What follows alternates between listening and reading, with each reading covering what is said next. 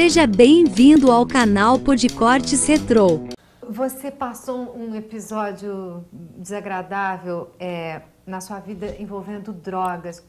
Como é que foi isso? Ai, parece, sabe o que, que é? Hum. Todo, parece que isso é um estigma, né? Que toda entrevista que eu dou tem que falar da minha prisão, que é uma coisa que aconteceu quantos anos atrás? E isso acaba sendo uma coisa, talvez para muita gente, mais importante do que todo o trabalho que eu possa ter feito, seja ao lado dos Titãs, ou seja os livros que eu publiquei, ou seja uhum. as canções que eu fiz com outras pessoas. Então fica uma coisa assim, ah, o Arnaldo é aquele que foi preso, sabe? Uma coisa assim.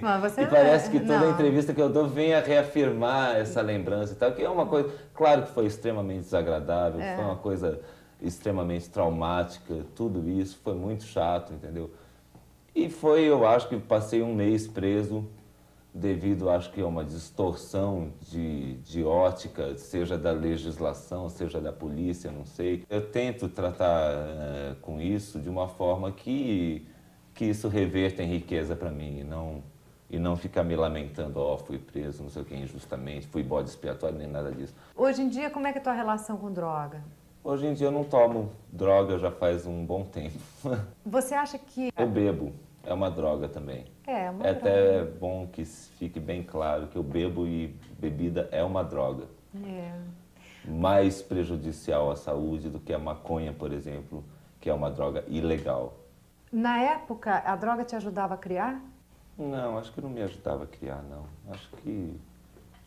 Ou talvez ajudasse, não sei. Não sei se ajuda a criar, não. Acho que eu criaria muito bem sem droga. Não atribuo nenhuma grande coisa que eu tenha feito à droga. Uhum.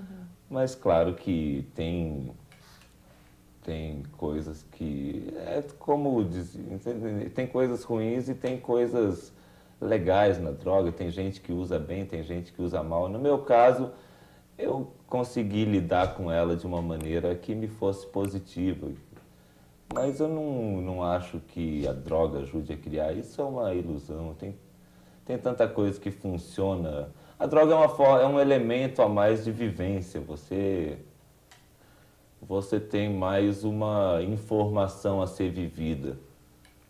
E claro que todas as informações ajudam a criar. Eu vejo dessa forma.